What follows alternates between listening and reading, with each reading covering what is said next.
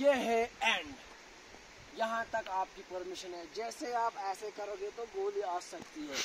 गोली आ सकती है। It's the end point of तारबल so यहाँ तक आप आ सकते तारबल बिफोर गुरेज से आपको तारबल जाने और बख्तार बख्तार तो वहाँ आओ और enjoy this border like situation actually it's a fencing constructed by Indian army इसके बाद है एक चौकी इंडियन आर्मी की फिर आता Pakistan but you are feeling same that you are in border let's come and visit this beautiful border which divides uh, beautiful people of Jammu and Kashmir into two segments Indian administrator and Pakistan administrator.